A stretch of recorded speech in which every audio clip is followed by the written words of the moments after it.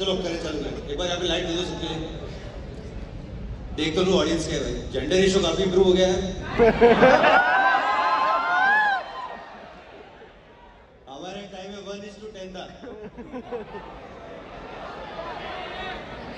After every girl, there were and one professor.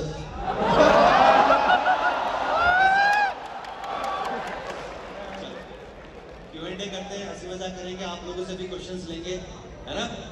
एक बार यहाँ पे भी लाइट चलो। Hello, sir. Welcome, first of all. It, it's a pleasure having you with us today. So, I'm Neha. Please start. And I'm Sarthak. So, I'm Sarthak. हाय सार्थक yeah. So, let's start with some generic questions. And, like, in what words would you like to brief about your college life? Okay यहाँ पे कितने कौन कौन से year में लोग बैठे हैं फ्रेशी कितने हैं?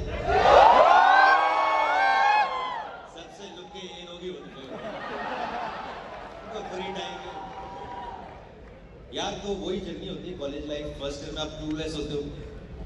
जो भी ओरिएंटेशन होता है अटेंड कर लेना भाई। है ना? स्पोर्ट्स वाला ड्रामा वाला बैडमिंटन क्रिकेट जो भी हो। सबसे ज़्यादा लोग जाते हैं डांस ओरिएंटेशन में, लड़के लोग। क्योंकि मैक्सिमम गर्ल्स वहाँ पे होती है। तो फ़र्स्ट ईयर तो वैसे ही आता है। हम लोग आए क्लूलेस होते हैं। तो मैंने सिंपल सा बोलता कि जो भी आपके हॉस्टल के बैच के सीनियर्स हैं, वो लोग गाइड करते हैं। तो अगर आप फ़र्स्ट ईयर में क्लूलेस फील कर रहे हो कि क्या समझ नहीं आ रहा क्या हो रहा है? प्लीज़ गो अहेड हर कोई वही फील कर रहा है। है ना? रिलेटिव रीडिंग से आए हम लोग यहाँ पे भी। यहाँ पे भी रिलेटिव ही रहेगा। फिर सेकेंड ईयर में थोड़ा बहुत समझ में आएगा। थर्ड ईयर तक एक्चुअल में समझ आता। कुछ दोस्त बनेंगे। कुछ लोग फिर स्पोर्ट्स में जाएँगे। कुछ लोग अकेडमिक्स में जाएँगे। कुछ लोग जो पोल्टू जनता होगी, वो ऐसे फेस्ट के ऑर्गेनाइजर बनेगी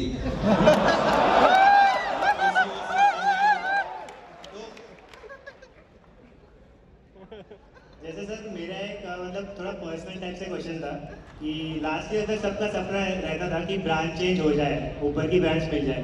तो क्या आपने भी यही सोच के इलेक्ट्रिकल में ज्वाइन की थी कि सी एस ज्वाइन कर लूँगा? हाँ, देखो अब ऐसे कोई लोग हैं जिनकी फ़र्स्ट ईयर में पीछे रैंक आई और फिर सोचा यहाँ पे आके फ़र्स्ट ईयर पढ़ के डिपार्टमेंट चेंज मारूँगा। कौन है वो लोग? हर कोई ये सोच गया था छह महीने औकात पता चल जाती है तो जो रैंक पीछे आई थी वो फ्लूक नहीं था मैं भी सोच के आया था, मैं पढ़ के सीएस मार लूँगा और बिल्कुल नहीं। वो फिर आपको क्लियर हो जाता है तो वो एक अच्छा आपको होता है कि भाई मैं जाऊँ। लेकिन मैं बताना चाहता हूँ, अगर आप आईटी आपने निकाल दिए, मैं बताता हूँ इंपॉर्टेंस ऑफ़ आईटी डिग्री है जैसे अभी आप लोग पढ़ रहे हो, है ना? मेरे पास आईटी की डिग्री आ चुकी है है ना? तो मैं बताता हूँ इसकी इंपॉर्टेंस क्या है। एक बार आप अंदर घुस गए ना जैसे घुसना सबसे टफ होता है, ठीक है? लेकिन अंदर घुस के तो मैं बता रहा हूँ it is the easiest engineering college यहाँ पे सबसे ज़्यादा टफ है फेल होना। फेल हुए होते हैं तो रात भर पबजी खेल रहे हैं क्लास जा ही नहीं रहे। क्योंकि यार बहुत अच्छी फैसिलिटी के प्रोफेसर साहब भी पढ़ा रहे हैं वही टेस्ट ले रहे हैं वही लास्ट डे आप जाते हो वर्कशॉप जेरोक्स शॉप पे जाके वही लड़कियों के किसी के नोट्स जेरोक्स करवा लो उससे आपका सेमेस्टर निकल जाएगा। है ना? तो क्या बात कर रही थी? ब्रांच चेंज ब्रांच चेंज हाँ नहीं बैच चेंज तो नहीं होने वाला वो एक दो का होता है वो वैसे ही जीनियस होता है। एक्चुअली क्या हो गया कि अभी ब्रांच चेंज का सिस्टम बंद हो गया। बंद हो गया? हाँ।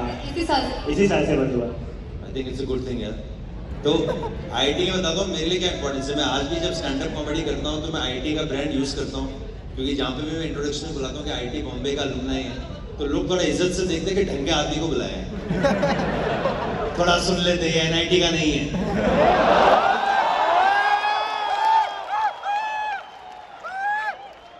इसका सही में कट ऑफ़ क्लियर हुआ है तो इस डिग्री की इंपॉर्टेंस ये है कि अगर लोग बोलते हैं कि आप कॉमेडी करके आईआईटी करके कॉमेडी में क्यों चले गए है ना मुझे लोग बोलते हैं, आपने सीट वेस्ट कर दी। तो बोलता यार, मैं सीट वेस्ट नहीं भी करता तो भी आप लोगों का सिलेक्शन नहीं हो रहा था एक रैंक से फेल नहीं हुए थे लोग। आई थी लाखों में। वो रैंक नहीं था, मेरे कोटक बैंक का ओटीपी था। तो आईटी डिग्री की देखिए इम्पोर्टेंस है कि कल को आप लोग लाइफ में जब जाओगे ना तो जो भी आपके मन का है आपको ट्राई आउट बिल्कुल कर लेना। क्योंकि हमारे पास इतना बड़ा सेफ्टी नेट है कि अगर मैं पास आउट होने का बाद मैं तीन साल का ड्रॉप ले लूँ अपने कॉमेडी के लिए जो मैंने लिया था कि तीन साल मैं कुछ भी नहीं करूँ जॉब वॉब फिर भी मेरी नौकरी लग जाएगी। क्योंकि उस आईटी डिग्री की समाज में वो वैल्यू है। तो इतना बड़ा सेफ्टी नेट है आप हम लोग हमेशा टॉप पे रहते हैं। नौकरी डॉट कॉम और शादी डॉट कॉम पे तो अपने मन में इफ़ और बट मत रखना है ना, बाद में रिग्रेट होता है, काश मैं कर लेता, ये बहुत बड़ा रिग्रेट होता है। And best time to struggle is college से निकलना और शादी के पहले। ये जो चार पाँच साल का विंडो है, दोनों के लिए for girl and boy you are only accountable to yourself तो अपने मन का जो भी करना है, आप कर लेना, क्योंकि हम इतना बड़ा सेफ्टी नेट लेके घूम रहे में कि हमारी कभी भी जॉब लग जाएगी। तो वो प्लीज़ ट्राई आउट जिसको स्टार्टअप का शौक है, किसी को जिसका शौक है, पक्का करना। मैं बता रहा हूँ आईटी मेरे किस तरह हेल्प आई तो जब मैं स्टार्टिंग में कॉमेडी में परसू करता था तो पैसे नहीं थे, आप स्ट्रगल करते थे। दिक्कत क्या होती है कि हम यहाँ पे जब फेस्ट में जोक्स करते हैं ना तो इंजीनियरिंग जोक्स करते हैं, हर कोई हंसता है उस पर क्योंकि ये आर्ट्स कॉलेज नहीं है। ये इंजीनियरिंग कॉलेज है। तो यहाँ पे कुछ भी जोक्स मारो, लोग खुश हो गए जाते हैं चलो कोई तो कुछ कर रहा है। है ना? जैसे मैं कॉलेज में ये जो करता था शुरू शुरू में, कि मैं रिसेंटली शादी अटेंड करने गया था, मेरे बेस्ट फ्रेंड की शादी थी, है ना? मेरी एक्स गर्लफ्रेंड के साथ। देखो कॉलेज में ऐसा अक्सर होता रहता है। एड्रेस सेटअप कोई और करता है और एक्सपेरिमेंट करके कोई और चला जाता है।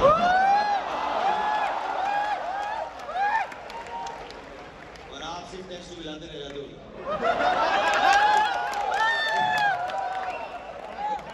तो मतलब की बातें निकल ही रही है काट मत मेरे को बीच में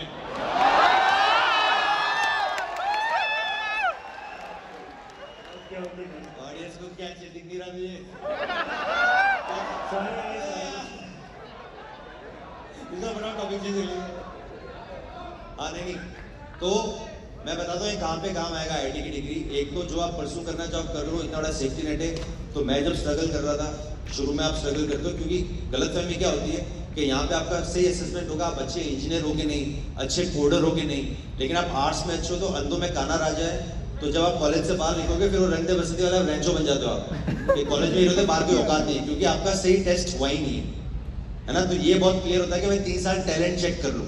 एम आई टैलेंटेड और नॉट जो भी फील करना चाह रहा हूँ उसके बाद में अगर आप टैलेंट चेक हो गया तो fame or money is a concept function of time वो हो जाएगा। तो मैंने क्या किया? आई डिग्री मेरे और कहाँ काम आई तो मैं जब शुरू में स्ट्रगल कर रहा था कॉमेडी में पैसे नहीं थे तो मैं यहाँ पे कोचिंग क्लासेस थी वहाँ पे मैं आई के लिए फिजिक्स की कोचिंग भी कराई मैंने पढ़ाया बच्चों को। है ना? फिजिक्स पढ़ाता था लेकिन सबसे इजी वाला ऑप्टिक्स और मॉडर्न फिजिक्स भाई रोटेशनल मैकेनिक्स की औकात नहीं है हमारी इसलिए मेरा सेकंड अटेम्प्ट हुआ था। तो तो वहाँ पे मैं बता रहा हूँ कि इस अगर आपने आईटीजे क्लियर किया आप आगे पढ़ा भी सकते हो और स्ट्रगल के दिनों में आप वहाँ से पैसे कमा सकते हो and then you can also pursue passion तो मेरे लिए इतनी बड़ी वैल्यू थी डिग्री सो अब कॉलेज की बात निकल ही गई है तो हॉस्टल कैसे छूट सकता है? तो आपका हॉस्टल कौन सा था वैसे सर मेरा हॉस्टल थ्री था। कितने लोग हैं थ्री से? मैं भी एस का हूँ। अच्छा इस तरीके से कौन सी भाई?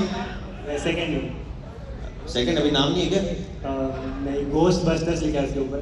तो गोस्ट बस्टर्स लिखा नहीं है वो नाम है साले। चैम्प्स विंग लूसीफर विंग हाँ। तो कॉलेज देखो कितने हॉस्टल में कितने लोग हैं यहाँ पे। मैं बताता हूँ बॉयज़ वर्सेस गर्ल्स का डिफरेंस बताता हूँ। तो लड़के लोग तो जानवरों की तरह रहते हैं है ना? जैसे लड़कियाँ बहुत वेल मैनेड होती है लड़कियों में कितनी फीलिंग्स होती है। लड़कियाँ जिस तरह फ़ोन नंबर स्टोर करती है उसमें भी एक इमोशन होता है यार कि होम स्वीट होम कॉलिंग पापा प्यारे कॉलिंग अभी टू कॉलिंग अरे, मेरा डुअल सिंह था यार। लड़कियाँ बेस्ट फ्रेंड्स का नंबर करती है सोल कॉलिंग करती लड़कों में बिल्कुल ऑपोजिट है यार। मेरे बेस्ट फ्रेंड ने मेरा नंबर होता साफ़ कॉलिंग दूसरे नंबर से फ़ोन किया आस्ती का साफ़ कॉलिंग एक दिन मेरे पापा का फ़ोन आ गया, नागराज कॉलिंग ये तो इमोशन से लड़कों में। हमारे टाइम में कॉलेज में एक फ्रेंड था हमारे यहाँ पे। विंग में था, उसके करली बात है उसका नाम छाटू रख के आया उसके घर पे उसकी मम्मी को फ़ोन कर रहे आंटी झाटू है क्या आंटी भी मस्ती के मूड में थी कौन सा वाला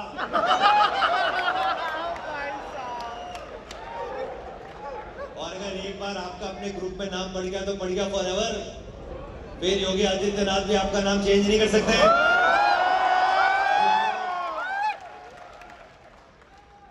मैं कॉलेज जो हॉस्टल लाइफ बड़ी ब्रूटल होती है लड़कों में, है ना? जैसे ये बहुत होता था लड़कों में। हाँ जी भी अरे होली दिवाली में कमरे से उठा के लेके जीन्स टी शर्ट कपड़े फाड़ के कीचड़ में फेंक दिया लाते लाते मार रहे हैं। मतलब प्रॉपर मॉब लिंचिंग होती थी उस टाइम तो। और आप दोस्तों को बोलो ना ये क्या बकवास है तो उल्टा आपको गिल्टी फील करा देते हैं। साले तुझे अपना मानते हैं इसलिए करते हम। ये हमारा प्यार है। ये तो इनका प्यार होती कि नफरत कैसी होगी? यार मैं ये सोच रहा यार। है ना हम लोग गोवा कितने लोग घूमने यहाँ पे गोवा? मतलब गए अभी तक? व्हाट्सएप पे प्लान ही बन रहा है। प्लान बन रहा है अभी तो। प्लान बन गोवा है गोवा लोग। सबका वही सपना गोवा जाना है। मेरा भी था मैं तो जैसे गोवा पहुँचा ग्रुप में, मैं बीमार पड़ गया यार। पीछे कोई रामजादा नहीं रुका होटल में मेरे साथ। ये ऐसे ही सपना एंजॉय कर रहे गोवा में। मैंने अगली बोला कि रुक जाओ यार। है ना, बुखार हो गया तो डिनर में चला बुखार बुखार कुछ नहीं होता भाई। सब तेरे दिमाग में बुखार नहीं होता है। ये जॉइंट भी अभी ठीक हो जाएगा। मतलब बुखार भी नहीं होता थर्मोमीटर झूठ बोल रहा है, एक सौ दो डिग्री बोल रहा है थर्मोमीटर अबे बिल्कुल गोवा में तो थर्मोमीटर भी हाई रहता भाई तो ये तो है मेल टू मेल वाला रहता है तो सर आपने जैसे कहा कि आप एस से हो, मैं भी एस से हूँ। तो आपका जी चीज़ में इन्वॉल्वमेंट कैसा था? मतलब कितना कंट्रीब्यूशन आप करते थे और किस किस क्लब्स में करते थे यार, देखो, मैंने बहुत आते ही मैंने फिगर आउट कर लिया था कि यार स्पोर्ट्स अपने बस का है नहीं। ठीक है, उस समय हमारे टाइम सबसे इजी होता था, हमें वो लेना पड़ता था एनएसओ अभी भी है। तो उस समय सबसे इजी होता था ड्रामेटिक्स ड्रामेटिक्स वाले ये देखो। ये कुछ नहीं करते प्रीति फिगर आउट करके आते हैं यहाँ तो उसमें ड्रामेटिक्स में फ़र्स्ट ईयर में ले लिया कि कुछ काम नहीं करना पड़ेगा ग्रेड निकल जाएगी मतलब पास हो जाएँगे, जो होता है। तो वैसे ही उसमें घुसे थे, है ना? फिर सेकेंड ईयर थर्ड ईयर फिर थर्ड ईयर में थोड़ा मज़ा आने लगा कि यार ड्रामेटिक स्टेज पे थोड़ा बहुत करते थे। तो क्या होता था कि यार, थोड़ा सा फीमेल अटेंशन मिलने लगा। हो गया, सबसे बड़ा ड्राइव वही होता है, हो गया। तो फिर ऐसे में ड्रामेटिक्स में घुसा फिर धीरे धीरे मज़ा आने लगा। फिर ये कॉलेज में करते थे फोर्थ ईयर में तो हम लोग इस समय होते थे पैफ करके। पैफ होता है यार, मैं बता रहा हूँ, मैं तो अभी एंटरटेनमेंट इंडस्ट्री में, लेकिन जो पैफ है ना, वो one of the mind mind blowing चीज़ें जो हमारे उसमें होती है। बच्चे लोग पूरा सेट बना देते हैं। और मैंने जब फ़र्स्ट जब आप अपनी लाइफ का फ़र्स्ट पैफ देखोगे ना, जो भी फ्रेशर है, आपका दिमाग काम नहीं करेगा कि हमारे बच्चों ने बनाया तो उस लेवल की कोऑर्डिनेट होती है उसमें। तो पैफ वाला एक्सपीरियंस बिल्कुल लेके जाना। तो वहाँ से थोड़ा सीखा फिर एल में तब हमारे प्लेस होते थे ड्रामा वामा। तो वहाँ पे वो करते थे। तो उसी तरह धीरे धीरे कर कर करके इसमें मज़ा आने लगा। देखो क्या होता है कि आप आईटी के अंदर आओगे ना तो यहाँ पे जो पढ़ाई है उसमें आप जेई करके आए हो तो आप पास हो जाओगे है ना? तो कोई ना कोई आप पकड़ लोगे चीज़ कोई स्पोर्ट्स पकड़ेगा कोई वो पकड़ेगा तो जो भी आपकी कॉलेज में जिसमें आपको मज़ा आ रहा है ऐसे लड़के लोग हरामी ही रहते हैं अभी पीछे ऑर्गेनाइजर बोले थे विपुल भाई, आज सारे लड़कों का मूड बना देना आप। मेरा भाई, ये वो वाली परफॉर्मिंग आर्ट्स नहीं है। मैं सारे लड़कों का मूड नहीं बना पाऊँगा। मैं मियाँ खलीफा नहीं हूँ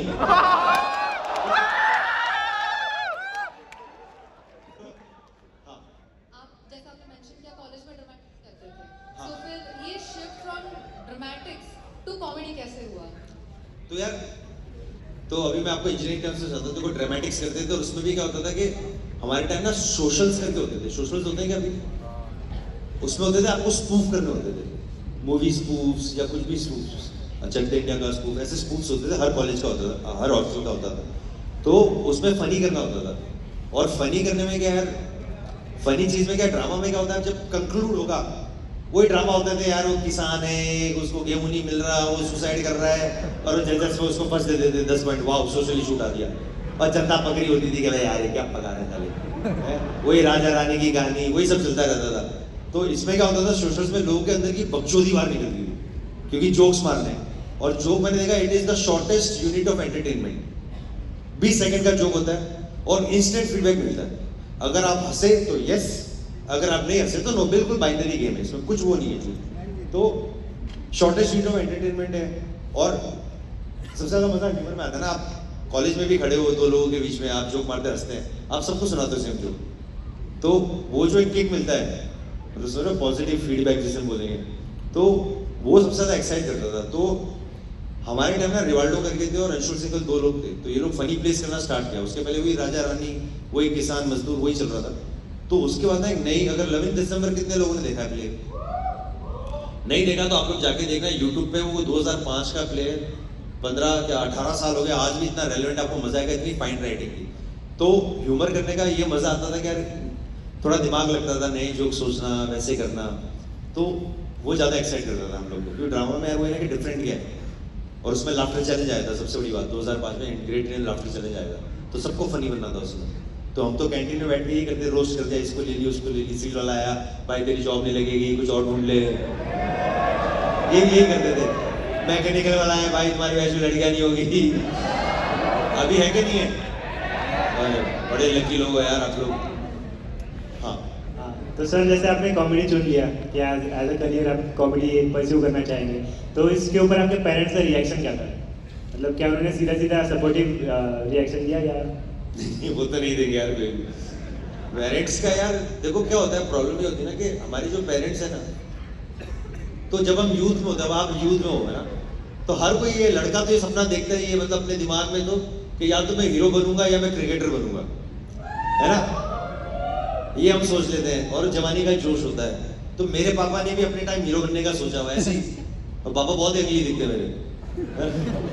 तो अरे आप क्या जवानी के जोश हमें लगता है हम कर सकते हैं, लेकिन पेरेंट्स का ये होता है कि फाइनली ना money is a very important factor in life कि भाई फाइनेंशियली वायबल है कि नहीं है। जो हम बोलते हैं ना happiness comes from within वो बहुत बाद में ninety nine percent of stress जो लाइफ का है ना, वो पैसों से सॉल्व हो जाता है। उसके बाद में जो वन परसेंट है, वो आता है आपके दिमाग को लेकर तो प्रॉब्लम क्या होती है? घर वालों को ये लगता है कि यार इसने इतनी अच्छी डिग्री ली है, इसको अच्छा जॉब मिला हुआ है, ये छोड़ के जा रहा है तो कि इसका कट नहीं जाए ये दिमाग में इसको वो नहीं लगे, है ना?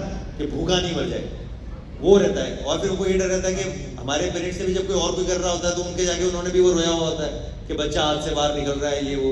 तो पेरेंट्स ना सोसाइटी के प्रेशर में ज़्यादा रहते हैं कि इसका कट नहीं जाए। बट फिर आपको मैंने एज अ मारवाड़ी ये समझाया कि, पापा, देखो, मैं भी बिज़नेस कर रहा हूँ, है ना? कोई भी बिज़नेस या स्टार्टअप ब्रेक इवन करने में तीन साल लगते हैं। आप ये मानो मैंने चुटकुलों की दुकान खोली हुई है। मुझे तीन साल दे दो और तीन साल में ठीक ठीक पैसा बनने लगा था मतलब एक बैचलर के लिए उसमें पच्चीस हज़ार रुपये हमारा काम हो जाता था। पंद्रह हज़ार का रेंट और दस हज़ार का खाना पीना, घूमना फिरना, जो भी, जब हम पास आउट हुए थे। तो ये जो है money is a very important component तो आप जब स्ट्रगल भी करो, मैं हमेशा बोलता हूँ, आप अपना तभी छोड़ना जॉब भी, अगर किसी को डांसर बनना है, जो भी करना है, बहुत सिंपल सी मैथमेटिक्स है। ये मेरी जॉब से इनकम है एक्सेल शीट में, और ये मेरी आर्ट फॉर्म से इनकम है। जब वो दोनों इनकम मैच हो जाए at least for two years continuously तभी ही जॉब छोड़ने की सोचना। क्योंकि दोनों एक्सक्लूसिव इवेंट्स हैं।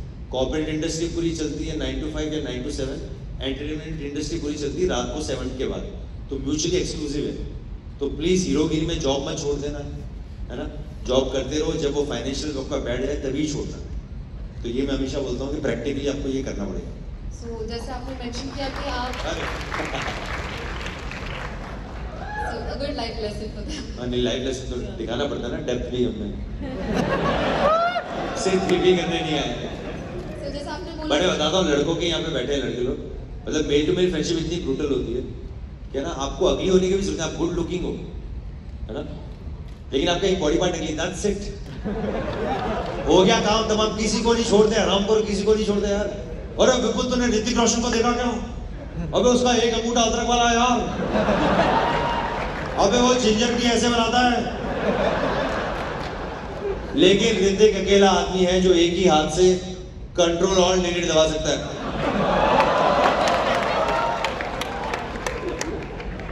ये जो आईआईटी जोधपुर में किसी को समझ नहीं आया था यार। आपको ना, आईआईटी जोधपुर में बिल्कुल उल्टा बनूँगा आप लोगों के लिए। अरे, हमारी कोई लॉयल्टी नहीं थी कमेडी हमें जहाँ पैसे मिलते हैं ब्लाउज पहन के मुजरा करके आ जाते हैं।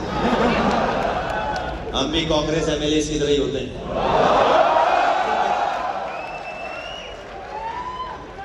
तो जरा लड़के इतने एलिमेंट है कर्सी होती है, जैसे जैसे अगर कोई फैट लड़की इंस्टाग्राम पे फ़ोटो डालती है, बहुत पॉजिटिव कमेंट्स आते हैं, लोग सपोर्ट करते हैं कि big is beautiful average so curves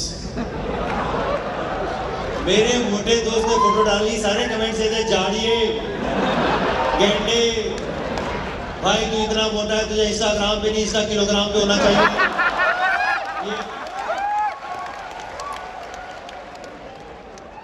भाई तू एक दिन के लिए खाना छोड़ दे, अफ्रीका के गाँव में हंगर की जगह लंगर हो जाए। Men men to men friendship का एक ही रूल है कि कुछ भी हो जाए एक दूसरे की रिस्पेक्ट तो करनी नहीं है। मैं बता रहा हूँ, कल को आप लोग आगे जाके प्रोफेशनल लाइफ में मचा दो आपको नोबेल प्राइज मिल जाए नोबेल प्राइज तब भी आपकी दोस्तों की नज़रों में आपकी रिस्पेक्ट नहीं बढ़ेगी। उल्टा उनकी नज़रों में नोबेल प्राइज की रिस्पेक्ट गिर जाएगी।